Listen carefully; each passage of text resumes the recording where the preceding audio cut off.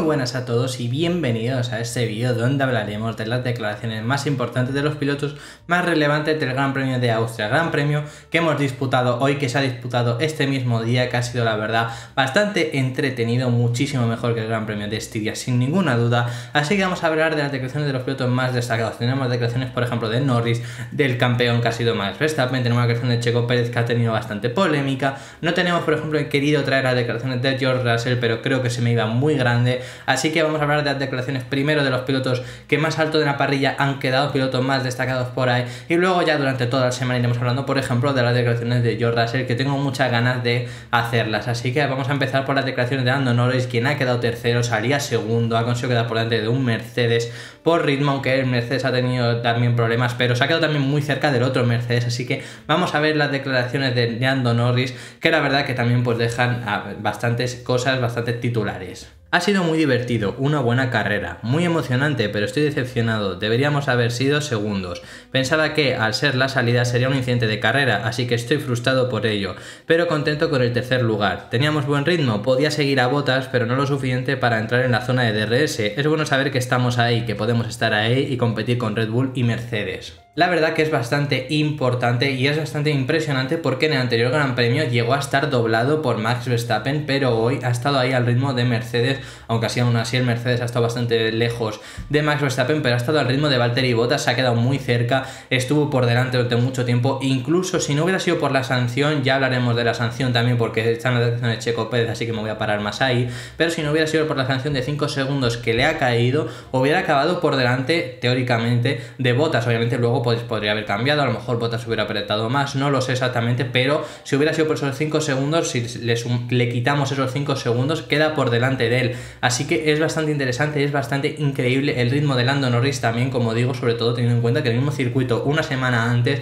llegaron a estar doblados. Y es, a mí me parece bastante esperanzador que consiga esto, que consiga acabar en tercera posición por delante de un Mercedes con muy buen ritmo. Lando Norris que se hace una temporada bestial y no ha sido para menos este Gran Premio de Austria, cuando ya se queda 40 58 milésimas de la pole y ahora se queda en tercera posición y muy cerca del segundo puesto. Vamos a hablar ahora de las declaraciones de Max Verstappen, que si ya dominó el Gran Premio de Estiria, el Gran Premio de Austria ha sido un destrozo. Primer Gran Chelem, ha dominado todas las vueltas, ha liderado todas las vueltas, hizo la pole, ha ganado la carrera y ha hecho la vuelta rápida. Así que vamos a hablar de las declaraciones de Max Verstappen después de este Gran Premio de Austria, que la verdad ha sido un paseo para él. Es increíble, el coche iba sobre raíles, una locura.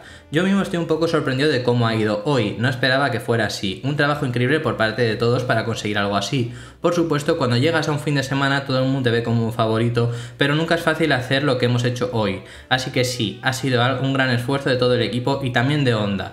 Creo que todo el paquete estas dos semanas, especialmente aquí, ha sido increíble. Solo tuve que estar despierto en la salida, que tenía un poco de diferencia. Sabía que si podía ir rápido en la primera vuelta o en el reinicio, podría hacer mi propia carrera. Siempre hay que hacer eso lo primero, pero hoy ha sido increíble. Como digo, ha dominado por completo en el reinicio, se fue, se marchó en la primera vuelta y estaba con bastante ventaja. Y luego es que ha podido hacer hasta una parada de más para hacer la vuelta rápida, para poner neumáticos nuevos, que nadie le quitase esa vuelta rápida. Y aún así ha llegado a liderar, creo que son 17 segundos con Valtteri Bottas. O sea, es impresionante. Tres carreras seguidas que ha ganado ya Max Verstappen, tres poles seguidas que lleva también. Max Verstappen abre muchísimo, se pone a muchísima distancia de Lewis Hamilton en el Mundial de Pilotos y cada vez se le pone más cara de campeón. Mira que yo esto cada semana digo, se les pone cara de campeones, pero es que cada vez más, cada vez se separa más. Y yo la verdad, yo quería, si yo me daba igual incluso si hubiera ganado Lewis Hamilton, pero yo quería pelear hasta el final, pero obviamente esto pues no se, no se está dejando pelear hasta el final, al final va a ganar Max Verstappen el Mundial a este ritmo, si siguen a este ritmo, veremos. A ver en el Gran Premio de Gran Bretaña dentro de dos semanas, pero la verdad, estas tres carreras han sido un dominio total, sobre todo estas dos últimas, en Gran Premio de Francia sí que hubo un poco de disputa, pero estas dos últimas carreras sido un dominio total, y como sea, si al final de temporada pues se viene un Mundial, el primer Mundial para Max Verstappen, el primero de muchos. Vamos a hablar del piloto español Carlos Sainz que ha acabado en quinta posición, ha hecho una carrera bestial, una estrategia diferente, empezó con duros, ha acabado con medios, ha tenido muchísimo más ritmo y ha conseguido pasar por delante incluso de un Red Bull por la sanción que ha tenido y todo como ya hablaremos después con Checo Pérez. Pero vamos a hablar de las declaraciones de Carlos Sainz que no nos han dejado nada que desear. Ha sido una carrera luchada, bastante más sufrida de lo que me esperaba con el neumático duro, sobre todo al principio. En la salida la verdad es que tenía poco agarre en comparación con los demás que iban con el blando y el medio, pero he conseguido mantener la calma y con ello he logrado alargar mucho el primer relevo y me ha dado una opción de montar el medio e ir a por todas. La verdad es que en la segunda mitad de la carrera me he divertido, porque en la primera pensaba que no estábamos haciendo mucho, pero al final ha funcionado. La verdad es que cuando aún estaba en la vuelta 48 todavía sin haber parado, pensaba que a ver si salía un safety car, porque no veía otra manera de, de fuera funcionar. Luego puse la media y aunque era usada he encontrado un muy buen ritmo y tirarme para Charles, Daniel y Checo y he podido pasarles. Ha sido divertido, sobre todo por ver la estrategia y el ritmo van mejorando carrera a carrera y que poco a poco empieza a ser más el Carlos que es capaz de hacer esto los domingos. La verdad es que como Carlos Sainz él mismo ha dicho, ha tenido una muy buena carrera, un segundo stint muy bueno con los neumáticos nuevos medios usados, que ya y aún así ha tenido muy buen ritmo y ha conseguido estar a menos de 10 segundos con Checo Pérez con su sanción y acabar en quinta posición. Muy buena carrera de Carlos Sainz, muy buen ritmo de Ferrari, dos fines de semana en los que la verdad han tenido buen ritmo, no muy buen ritmo de clasificación, porque además en esta carrera salía Carlos Sainz décimo, pero ninguno de los dos se consiguió meter en Q3, se quedaron los dos en Q2 y la verdad que han hecho una muy buena buena carrera, ambos Ferraris un muy buen ritmo y Carlos Sainz cada vez parece ser más competitivo. Está a dos puntos solo de Charles Leclerc en un mundial de pilotos, así que está bastante cerquita, está haciendo muy buenas carreras últimamente. Lleva también tres fines de semana, estos tres últimos fines de semana muy bien. Carlos Sainz, que como ya hemos dicho muchas veces en este canal, ha sido el piloto que más rápido se ha adaptado, yo creo, a su nuevo monoplaza, que esto le está viniendo muy bien, está bastante a la par con su compañero de equipo. Obviamente Charles Leclerc es un fuera de serie, ¿no? Pero está bastante a la par, están compitiendo bastante y Carlos Sainz que está haciendo muy buena carreras, está haciendo muchos méritos para seguir muchos años en Ferrari y este Carlos Sainz es el que queríamos ver, poco a poco se va convirtiendo en ese Carlos Sainz que queríamos ver. Vamos a hablar rápidamente de Lewis Hamilton, que la verdad ha tenido un problema con su monoplaza, él mismo ha aplicado estos, estos problemas y ha perdido posiciones, rodaba en segunda posición, tuvo que dejar pasar a su compañero de equipo para que no perdiera tiempo y al final fue pasado por también por Lando Norris y tuvo que cambiar neumáticos para intentar ir a un poco mejor el ritmo y se ha quedado bastante lejos, cuarta posición porque al final el quinto estaba muy atrás, Checo Pérez estaba también muy atrás, así que no le han podido pillar, pero la verdad que si hubieran estado más preparado todo, hubiera sido bastante complicado a lo mejor imagínate si estuviera Checo Pérez, pues hubiera acabado en una quinta posición, si no hubiera pasado todo lo de Checo Pérez, que como digo ahora hablaremos, así que voy a leer primero la declaración de Lewis Hamilton. Teníamos algo dañado en el suelo del coche, en la parte trasera, trabajamos duro para recuperar y mejorar, pero hemos ido muy mal en pista, veremos cómo iremos en las carreras que quedan.